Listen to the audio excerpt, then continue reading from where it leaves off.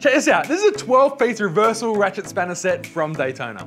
The set of 12 spanners goes from 8 millimeters up to 19 millimeters and it comes in a rack which you can either attach to the wall of your shop or tuck it away in a tool drawer. Either way, your spanners are gonna stay organized and right where you left them. These ratchet spanners have a chrome vanadium finish. They feel like quality in your hand and they have a guaranteed precise fit.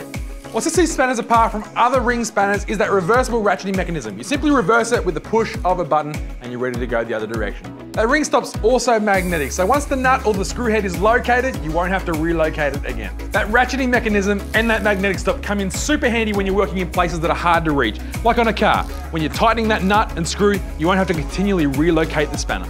These 12 spanners look good, will go the distance, make your life a lot easier. If you've got any questions at all about the 12 magnetic reversible ratchet spanners from Daytona, hit me up in that comment section below.